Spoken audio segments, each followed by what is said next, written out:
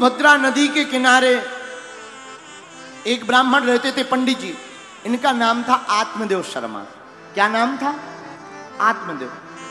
इनकी पत्नी पत्नी का नाम धुंधली देवी। बोलो, जय सिया राम ध्यान से सुनना भैया कथा। ब्राह्मण का नाम आत्मदेव, पत्नी का नाम धुंधली देवी। ब्राह्मण तो बड़े सज्जन, कर्मकांडी, भक्त। क्या कहना भक्ति का? लेकिन इनकी पत्नी ठीक विपरीत। है? ठीक उल्टी। अच्छा पत्नी होती है सबकी खतरनाक। कई लोगों की नहीं है। तुम लोगों की नहीं है, तुम लोग मत डरो। हाँ। ये बात तो हम दूसरों की बता रहे हैं। बोलो, जय सिया राम तो आत्मदेव की पत्नी धुंधली धुंधली बड़ी ही खतरनाक। कैसी खतरनाक? आहा। ब्राह्मण देवता जितने आचार्य, इनकी पत्नी उतनी ही बेकार। जब तक पड़ोसी पड़ोसन से लाठी चार्ज ना हो जाए, तब तक धुंधली देवी भोजन ही नहीं करती। इतनी खतरनाक। अच्छा लड़ाई करें सो तो ठीक है, लेकिन लड़ने के लिए घर के बाहर आ जावे और घर के बाहर आकर पानी का मटका बगल में दबाएँ। तो किसी ने पूछा, तुम पानी का मटका क्यों लिए रहती? बोले बा गाली बकते हैं तो मुँह सूख जाता है, मुँह, गला सूख जाता है ना? अरे भाई तो गला सूख जाता है, भीतर जाकर पानी पियाओ, फिर आ जाओ, फिर गाली बकना। बोले, बा, जब तक पानी पीने जाएँगे, तब तक तमाशा देखने वाले नहीं भाग जाएँगे। गाली कौन सुनेगा? बोलो, जय सियारा। ऐसी भी देवियाँ होती हैं। राम जी बचाएँ।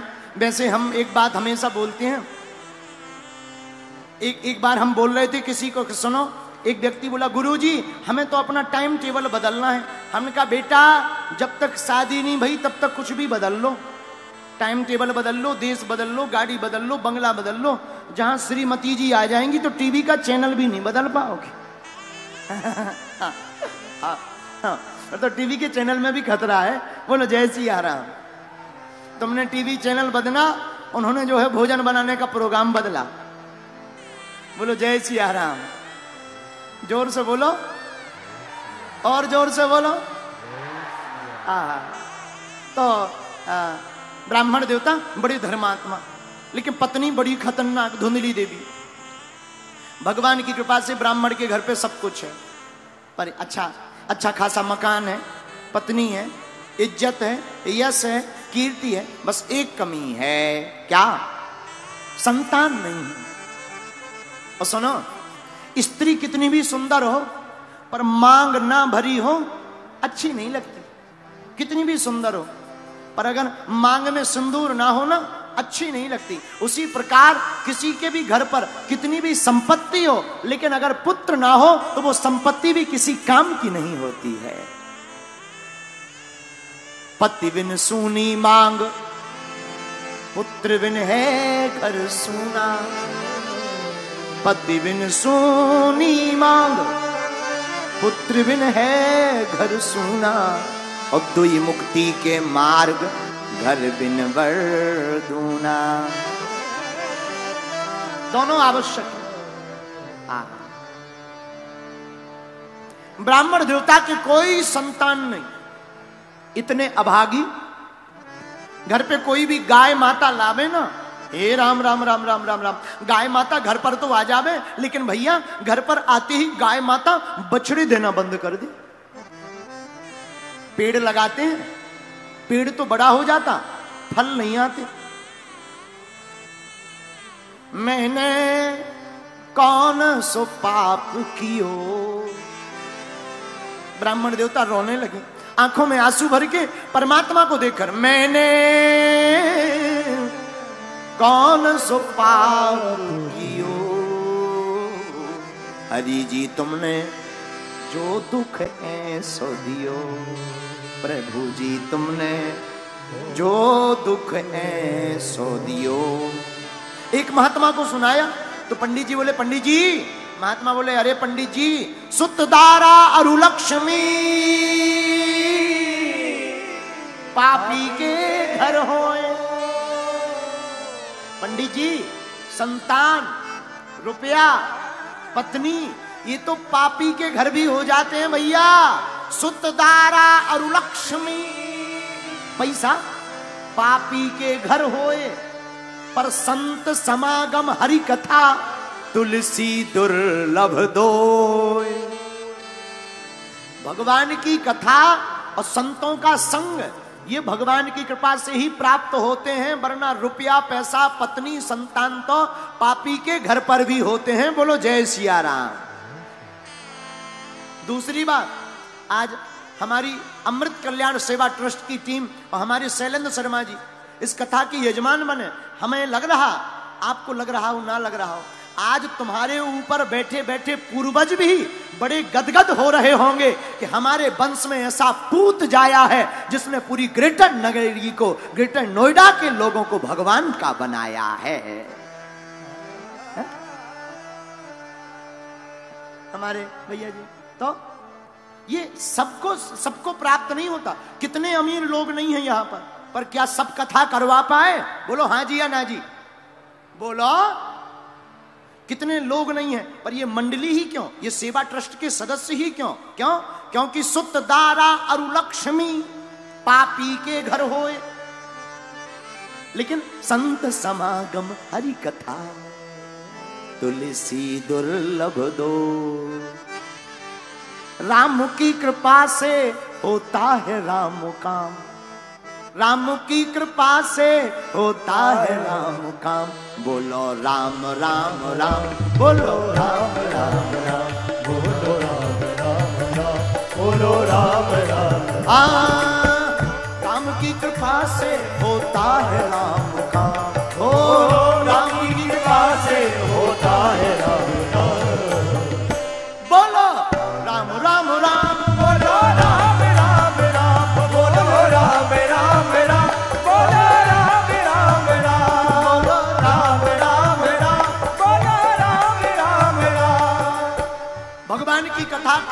का मौका करने का मौका सुनने का मौका श्रोता बनने का मौका कोई साधारण बात नहीं है सबको प्राप्त नहीं होता क्यों ओ राम की कृपा से होता है राम का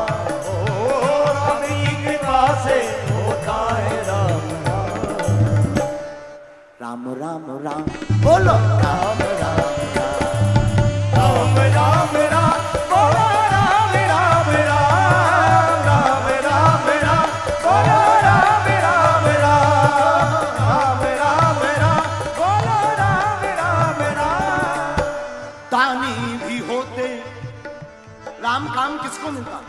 दानी भी हुए तो अभिमानी भी भये हैं।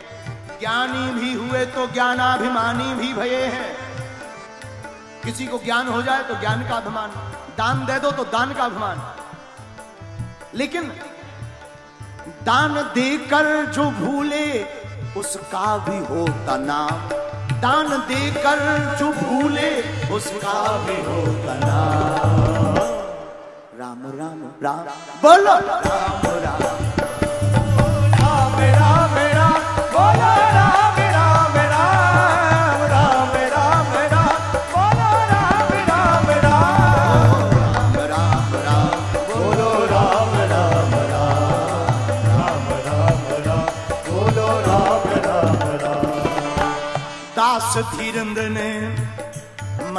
विचारा प्रभु का नाम यूँ दिल से उचारा।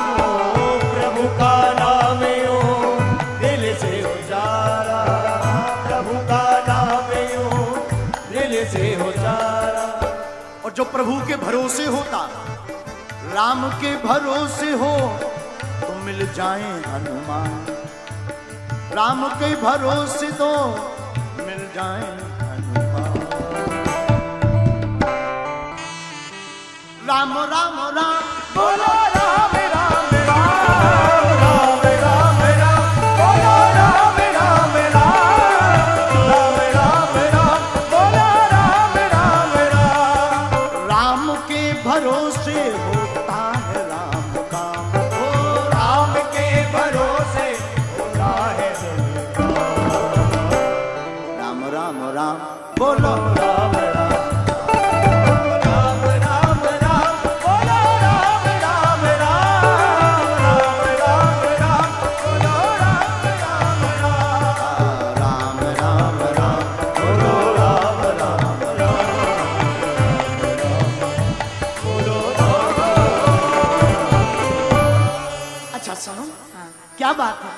भगवान की कथा। सुतदारा अरु लक्ष्मी पापी के घर होए। पर संत समागम हरि कथा तुलसी दुर्लभ दोए। पापी के घर पैसा होता, पत्नी होती, पुत्र होते, लेकिन संतों का आगमन और भगवान की कथा पापी को नहीं मिलती। जो पापी होते हैं, वे हट जाते हैं। जो प्रभु के होते हैं, वो इस आयोजन की कृपा को पा जाते हैं। इसीलिए तो राम की कृपा से होता है राम काम। राम की कृपा से होता है राम काम। बोलो। राम राम राम। बोलो राम राम। हाँ, हाँ, हाँ। राम राम राम। बोलो बोलो बोलो पागलो। बोलो। राम राम राम। बोलो राम। देखो। तो ब्राह्मण का नाम आत्मदेव आत्मदेव की पत्नी का नाम धुंधली। धुंधली बड़ी खतरनाक। जब तक पड़ोसी से लाठी चार्ज ना हो जाए, तब तक यह देवी जी किचन में पैर ही नहीं रखती। एक बात और बोले, बुरा मत मानना। जिन जिन की श्रीमती आ गई पर उनकी अपनी मति कम चलती। जिनकी भी श्रीमती आ जाती उनकी पर खुद की मति कम चलती, पर पूरी श्रीमती की ही चलती। बोलो, जय सिया राम ज़ोर से बोलो। लेकिन दूसरी बात और सुनो, इसी का दूसरा उत्तर सुनो। एक बार वृंदावन में एक पंडा जी पंडा जी पंडित जी पंडित जी संकल्प कर रहे थे। उन्होंने संकल्प में बोला, कृष्ण पक्षे तो दूसरे पंडा जी बोले, कृष्ण पक्ष है कि शुक्ल पक्ष? तो मैं तो आते ही नहीं है। भाँग खाकर बैठ गए। शुक्ल पक्ष की जगह कृष्ण पक्ष बोल रहे, शर्म नहीं आती है तुम्हें अपने मन से? पंडा जी बोले, चुप रहो। तुम्हें नहीं शर्म में आती। चाहे शुक्ल पक्ष रहे, चाहे कोई पक्ष रहे, वृंदावन में तो सिर्फ़ कृष्ण ही पक्ष रहेगा। ये बांके बिहारी की नगरी है। इसलिए राम की कृपा से होता है राम काम। राम की कृपा से बोलो। राम राम राम। बोलो राम राम धुंधली देवी बड़ी विचित्र, और इनके घर पर कोई भी संतान नहीं, पुत्र नहीं है। और पुत्र के बिना सब कुछ बेकार होता। बोलो, जय सिया राम। क्या किया जाए?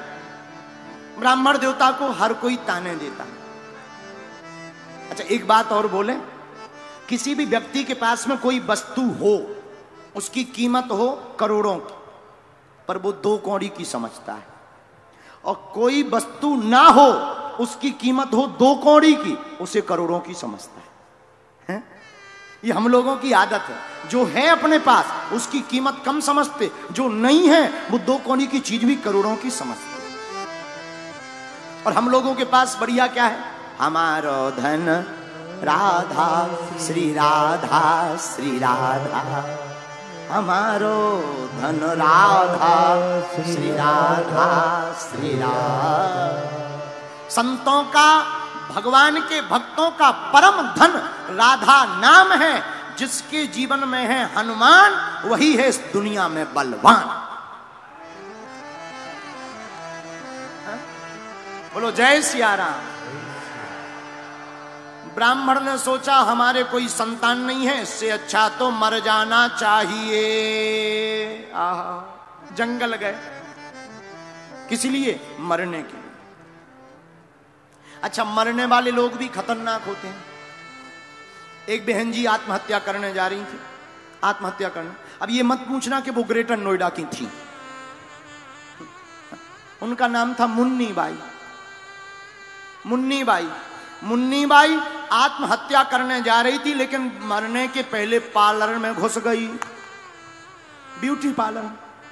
तो किसी ने पूछा, तुम तो ट्रेन के नीचे मरने जा रही थी, ब्यूटी पार्लर क्यों आ गई? बोले, वाह, कल हमारी ब्रेकिंग न्यूज़ बनेगी तो चेहरा खराब नहीं आएगा। बता बता। बोलो, जय सिया राम अब ये मत पूछना कि वो यहीं ग्रेटर नोएडा में रहती थी। ये भी नहीं बताएँगे कि वो स्वर्ण नगरी में रहती थी। क्योंकि हमारे पंडित जी स्वर्ण नगरी में रहते हैं। बोलो, जय सिया राम ज़ोर से बोलो। और ज़ोर से बोलो। तो ब्राह्मण देवता मरने के लिए वन में गए। क्यों? क्योंकि कोई संतान ही नहीं है तो इससे अच्छा मर जाना ही ठीक है। वन में बैठे, वन में बैठे बैठे भगवान को याद करते करते ब्राह्मण रोने लगे। हरि जी, मैंने कौन सो पाप कियो? हरि जी, मैंने कौन सो पाप कियो? कौन सो पाप कियो? प्रभु जी, मैंने कौन सो पाप कियो? आँखों से धर धर करके आँसू बहाने लगे। एक महात्मा चले जा रहे थे। महात्मा की नज़र ब्राह्मण पर पड़ी। आहा। महात्मा ने सोचा, कोई भगवान का भक्त है, भगवान के लिए रो रहा, इतने वन में। चलो बात करें। पंडित जी, राम राम, क्यों रो रहे हो? प्रभु की याद में। तुम्हारी याद आती है। बताओ, क्या करें? तुम्हारी याद आती है, बताओ, क्या करें? हो चले तो ना उछलने दे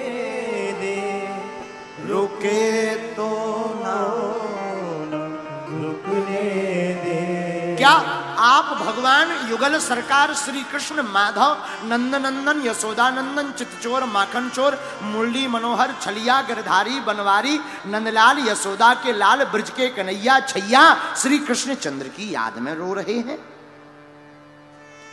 ब्राह्मण देवता बोले, हम उनके लिए नहीं रो रहे फिर किसके लिए रो रहे अरे बोले, हमारे कोई संतान नहीं है। पुत्र के लिए रो रहे महात्मा मन ही मन सोचने लगे, जय हो। हम तो सोच रहे थे ये भगवान का भक्त है, ये तो बेटा का भक्त है। कोई बात नहीं। ब्राह्मण देवता, बेटा किसी के नहीं हुए। महात्मा ने समझाया, किसी के नहीं हुए। जिनके बेटा हैं, वो भी रो रहे। बेटों के चक्कर में मत पड़ो। भगवान का भजन करो, कल्याण हो जाएगा। सब बेकार है। कोई किसी का नहीं है। सारत लागी। करही सब प्रीति। रामचरित मानस में गोस्वामी कलिकुल शेखर पावन अवतार श्री तुलसीदास जी कहते सोरे नर मुनि सब की यह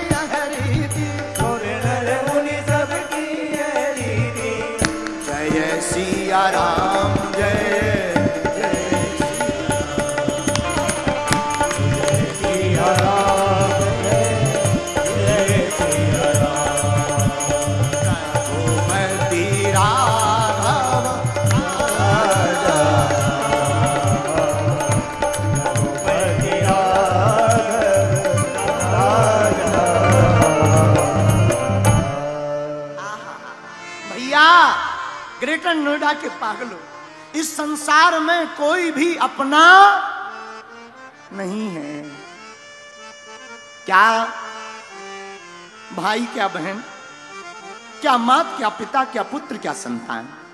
सब इस दुनिया में तुमसे प्रेम इसलिए कर रहे हैं कि जब तक स्वार्थ है।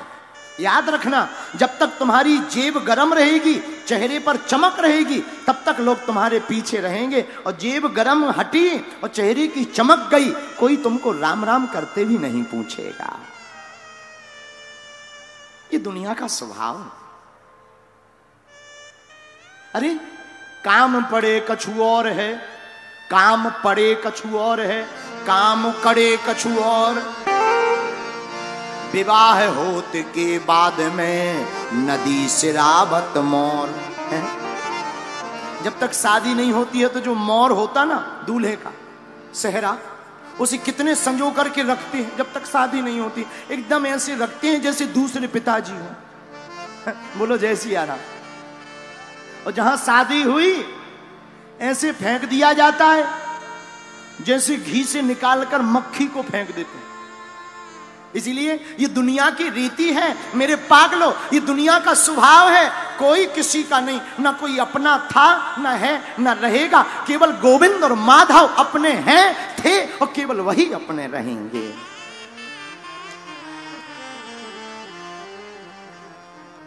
मोहे लागी लगन गुरु चरण की।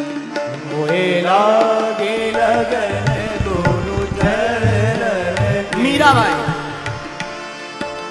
हरि बिन कौन हमारो?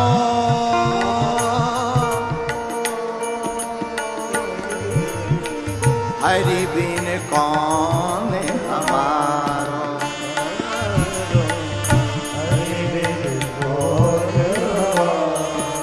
ब्राह्मण देवता, तुम रो मत, आँसू मत बहाओ, बेटा किसी का नहीं हुआ। भगवान को भजो नाम जप करो। आत्मदेव ब्राह्मण बोले महात्मा जी तुम क्या जानो बेटे का सुख। पापा पापा पापा कहता हुआ जब बेटा गोद में आता है कान में रसगुल्ला सा घुल जाता है। हाँ, हाँ। आप क्या जानो? आप तो ठहरे साधु महात्मा। तुम्हें क्या पता बेटे का सुख क्या होता? हम गृहस्थियों को पता है पापा पापा। कान में रसगुल्ला सा घुल जाता अच्छा हाँ। महाराज, हमें तो बेटा ही चाहिए, भगवान नहीं चाहिए। हे भगवान, कितने विचित्र आदमी चलो, हम तुम्हारे भाग्य को पढ़ते हैं। महात्मा ने आत्मदेव ब्राह्मण के भाग्य को पढ़ा मस्तक की रेखा पढ़ करके कहा, अरे पंडित जी, तुम एक भाग, एक जन्म की बात कर रहे सप्त जन्मावधि, नई बचा सत्य जन्मावधि तो पुत्रो नई बचा नई बचा सात जन्म तक तुम्हारे भाग्य में कोई भी पुत्र नहीं है। एक जन्म छोड़ो। सप्त जन्मावधि तव पुत्रो नई बचा नई बचा सात जन्म तक एक भी बेटा नहीं होगा। क्या महाराज? हाँ।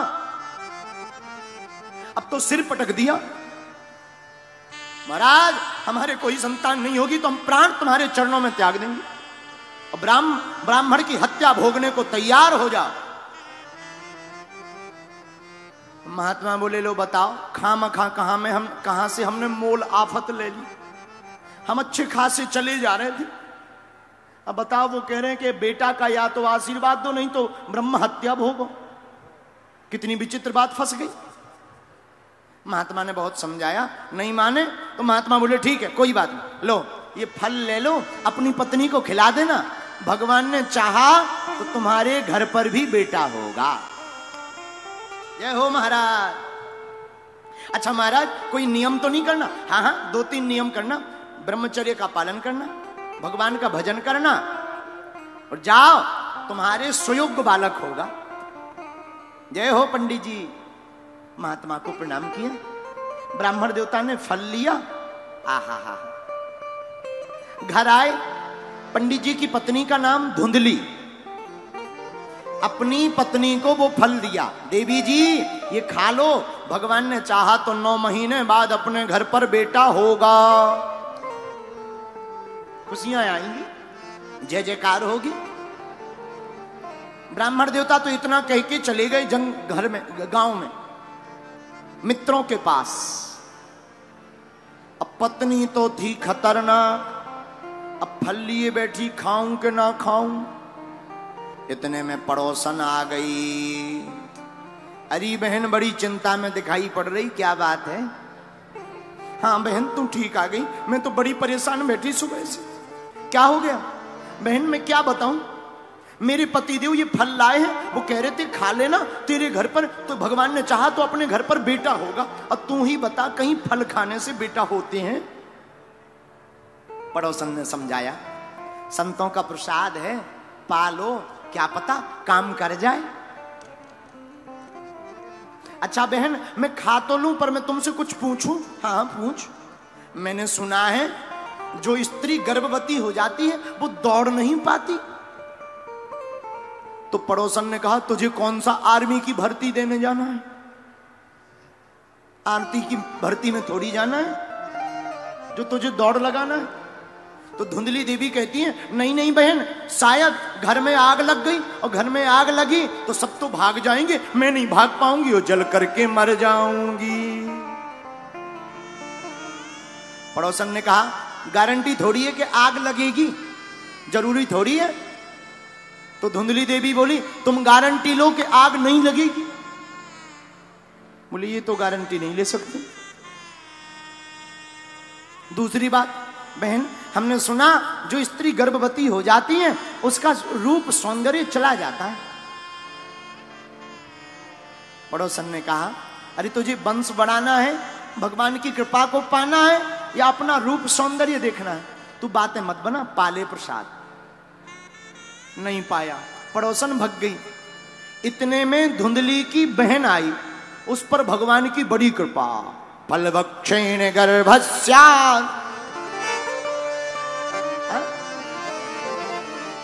धुंधली की बहन के ऊपर भगवान की इतनी कृपा इतनी कृपा इतनी कृपा इतनी कृपा कि घर पर वो तीन चार बच्चे छोड़कर आई एक बच्चा आगे चल रहा। एक बच्चा उंगली पकड़े, एक बच्चे को गोद में लिए, एक पेट में कोख में पल रहा। पूरी क्रिकेट टीम तैयार। अरे धुंधली सीताराम। हाँ हाँ ठीक आ गई बहन। आओ आओ आओ आओ बहन, सीताराम सीताराम। क्या बात है धुंधली? मुँह लटकाए बैठी है। क्या बताऊँ? हमारे पति देव फल लाए हैं। कह रहे थे, खा लेना। बेटा होगा। बताओ, संतों का दिया है, खाऊं या ना खाऊं? धुंधली की बहन तो चाहती थी ये खाए ना। और नहीं खाएगा तो ठीक रहेगा, कम से कम नहीं खाएगा तो एक आध बच्चा इसका यहीं सेट हो जाएगा। संपत्ति मिल जाएगी। अरे ओ बहन, बाबाओं के चक्कर में मत पड़। बाबा बेरागी है, ना जाने कौन सा मंत्र फूंक के फल खवा दें, तू पागल हो जाए, बाबरी हो जाए, बसीकरण हो जाए, बर्बाद हो जाएगी। हाँ सही बात है। और हमारे पति तो बड़े कॉन्फिडेंस से कह रहे थे कि फल खा लो, जय जय हो जाएगी। हाँ एक काम करो। ज़्यादा मत घबराओ। झूठ मूठ का गर्भवती होने का नाटक शुरू कर दो। हमारी कोख में बालक पल रहा। जब भी कुछ होगा, हम तुम्हें सौंप देंगे। इस फल का क्या करें? हाँ जो फल है ना, एक काम करो। ये जो गाय है ना, गाय ने आज तक बछड़ा नहीं दिया, इसे खिला दो। असली होगा तो दिख जाएगा। गाय को फल खिला दिया। खुद गर्भवती होने का नाटक करने लगी। कालांतर में धुंधली की बहन के एक बेटा हुआ। रातों रात धुंधली को दे दिया। भगवान की कृपा हो गई, बेटा हो गया। और धुंधली देवी ने झूठ मूठ का बनाकर अपने पति को भी बता दिया, स्वामी जी, बधाई हो, बेटा हुआ है। ब्राह्मण सीधे साधे खुशी हो गए ढोल नगाड़े बजवाए। वाह वाह वाह वाह, बेटा हो गया। लोग हमारे ऊपर बहुत हंस रहे थे। अब अब सबके मुँह बंद हो गए। लेकिन समय की बात है, समय बड़ा विचित्र होता है। इनके बेटा हुआ सो तो ठीक है। जो फल गाय को खिलाया था, गाय के भी एक बच्चे का जन्म हुआ, लेकिन बछड़ा या बछड़ी नहीं। कान गऊ जैसे, बाकी पूरा मानव जैसा एक बालक हुआ। अब तो चारों दिशाओं में चमत्कार का नाम फैल गया भैया। पंडित जी के घर पे पहले एक भी संतान नहीं थी, अब तो गाय के भी बेटा होने लगा। हैं? लोग तमाशा देखने वाले आने लगे। जय हो जय हो जय हो। ब्राह्मण देवता एक दिन अपने बालक का नाम रखने लगे।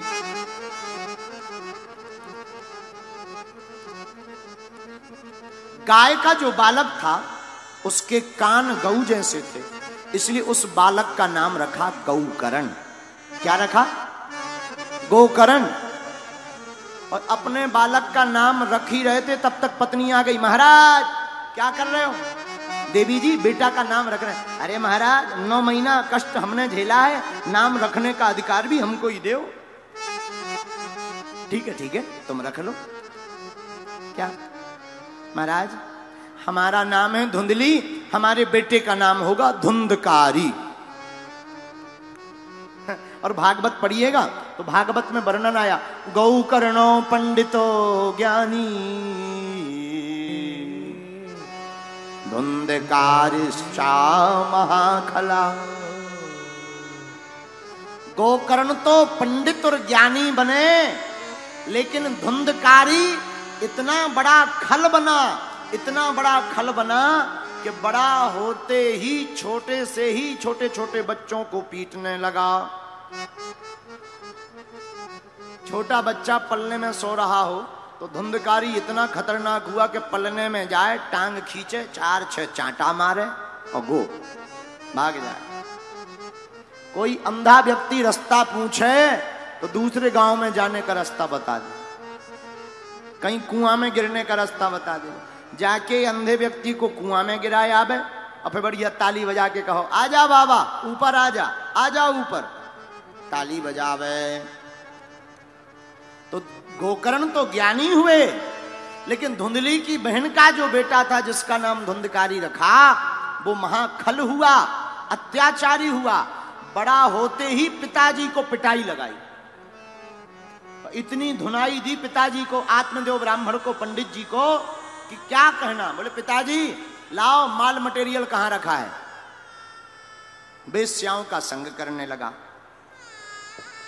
पंडित जी उस दिन भी रो रहे थे। क्यों? बेटा नहीं है।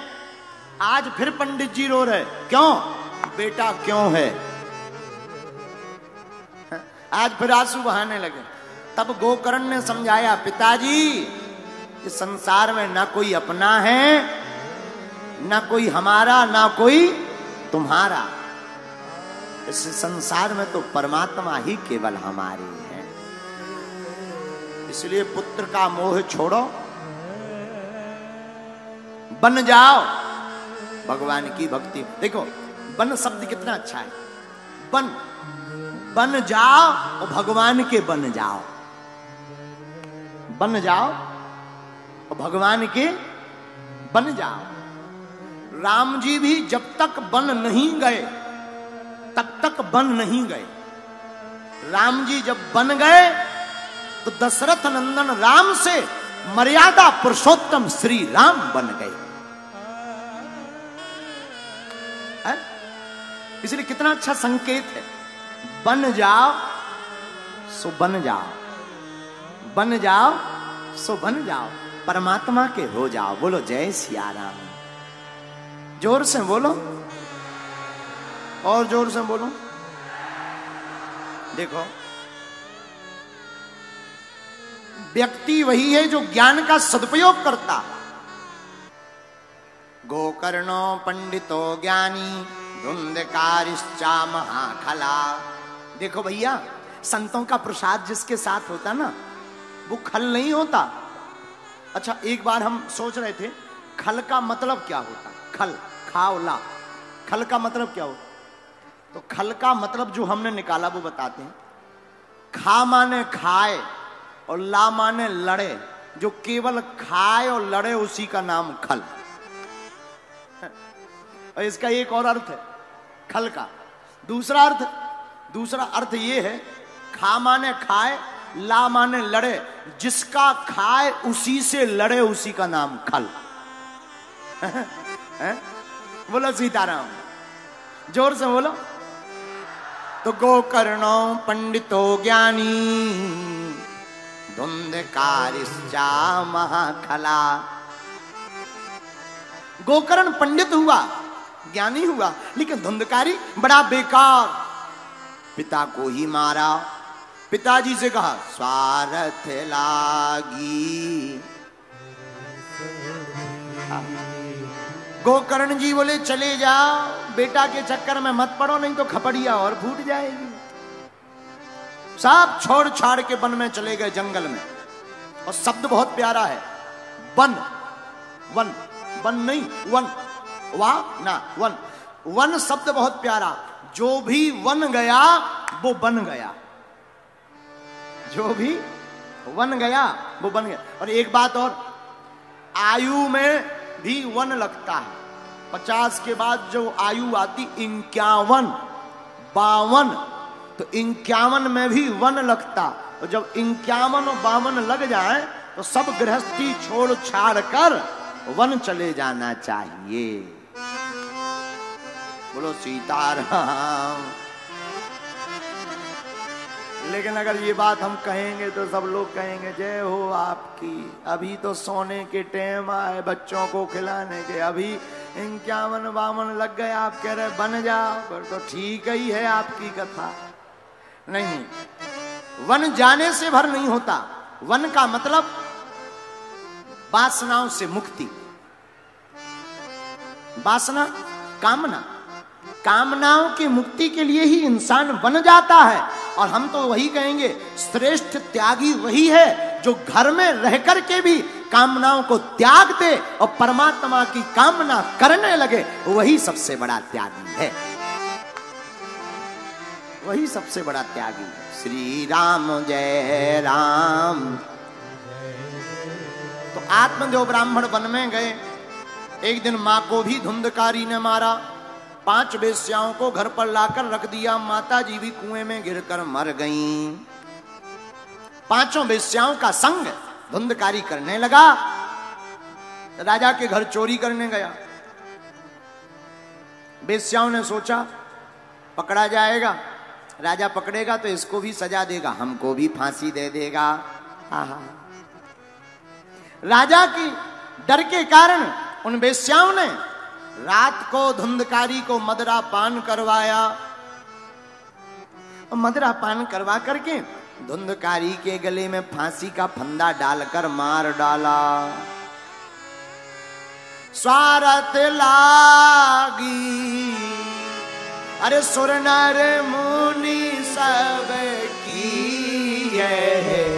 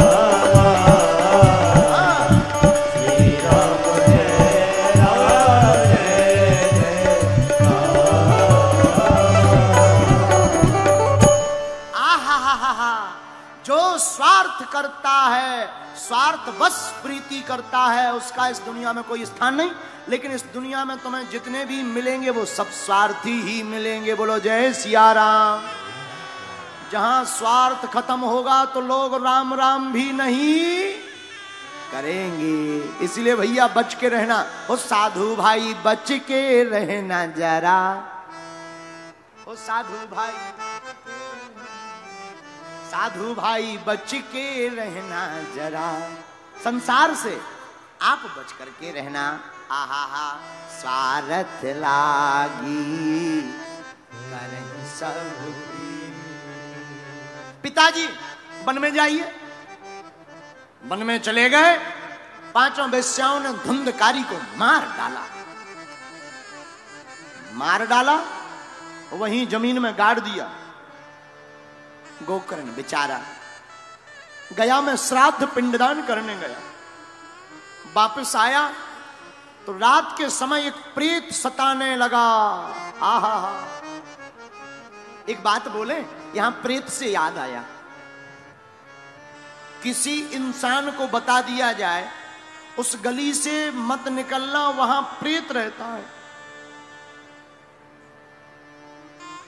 कयाचित रात को अगर अकेले में वहीं से निकलना पड़े, फिर इतने हनुमान जी याद आते हैं। इतने जय हनुमान ज्ञान गुण सागर जय कपीस। और भूत पिशाच वाली चौपाई आए। भूत पिशाच निकट नहीं आवे। इतने बजरंग बली याद आ बहुत। अच्छा देखो, हम बताना ये चाह रहे गाँव के एक झूठे आदमी ने बता दिया, वहाँ से मत निकलना, प्रेत रहते हैं, और हमें गाँव के उस झूठे आदमी की बात पर और प्रेत पर भरोसा हो जाता लेकिन हमारी रामायण हज़ारों सालों से चिल्ला रही कि भगवान कण कण में रहते हैं तो जहाँ प्रेत रहता है, वहाँ परमात्मा भी तो बसते हैं। लेकिन प्रेत पर भरोसा है, परमात्मा पर नहीं, इसी को निकालने के लिए भगवान की कथा की आवश्यकता है। आहा। प्रेत बनकर धुंधकारी सताने लगा। गोकर्ण ने पूछा, कौन हो? भैया, हम तुम्हारा बड़ा भाई धुंधकारी है। अरे, तुम प्रेत बन गए। हमने तो तुम्हारे नाम से गया जी में पिंडदान किया। फिर भी तुम प्रेत बने? धुंधकारी कहता है, भाई, हम कोई साधारण पापी नहीं है, नंबर एक के पापी है। हमारे नाम से तुम हज़ार बार गया में पिंडदान करो। फिर भी हमारा कल्याण होने वाला नहीं है। क्या किया जाए? अब तो आप ही उपाय बताओ भ्राता जी। ठीक है, तुम चिंता मत करो, हम कल कोई उपाय निकालते प्रातः काल सूर्य भगवान को अर्घ दिया। कहा, महाराज, हमारा भाई प्रेत योनि में है, क्या करना चाहिए? प्रेत योनि से मुक्ति कैसे मिलेगी? सूर्य भगवान ने कहा, गोकर्ण जी आप अपने भाई को भागवत की कथा सुनाओ। भागवत की कथा सुनने से भूत प्रीत निकट नहीं आता है और प्रेतों की मुक्ति हो जाती है। किसी को पितृदोष लगा हो, भागवत का पाठ करवाना चाहिए। हाँ। सात गांठ के बाँस पर गोकर्ण जी कथा सुनाने लगे तो एक सात गांठ के बाँस पर धुंधकारी आकर बैठ गया। पहले दिन की कथा हुई, पहली गांठ फट गई, दूसरे दिन की कथा पूरी हुई, दूसरी ग्रंथि फट गई। धीरे धीरे सातों दिनों में देखते देखते सातों ग्रंथियाँ फट गई और बड़ा दिव्य रूप लेकर के वह धुंधकारी प्रकट हो गया। चतुर्भुज रूप लेकर हाथ जोड़कर भागवत की महिमा को गाने लगा। धन्या भागवती वार्ता। प्रेत पीड़ा विनाशिनी। सप्ताहोपि तथा धन्य। कृष्ण लोक फल प्रदा धन्य है भागवत की कथा, जो हमारे जैसे आतताई को। तरन तारण कर दिया। बार बार भागवत भगवान को धन्यवाद देने लगा। बोलो, भागवत भगवान की भगवान का विमान आया। धुंधकारी उस पर बैठकर जाने लगा। आहा। तो गोकर्ण ने भगवान के पार्षदों से पूछा, भाई, कथा तो सबने सुनी, पर विमान धुंधकारी भर को क्यों आया? सबको आना चाहिए। तो बड़ी अच्छी बात बोली भगवान के पार्षदों ने। भैया, कथा तो सबने सुनी, पर जीवन में उतारी किसी ने नहीं। जीवन में उतारी केवल धुंधकारी ने है, और जो कथा को जीवन में उतारता है, वही परमात्मा के धाम को जाता है। तो भगवान की कथा भक्ति सिखाती, भगवान की कथा परमात्मा के चरणों में श्रद्धा सिखाती भगवान की कथा सोए हुए को जगाती और भगवान की भक्ति सौ को भी शिव बनाती है।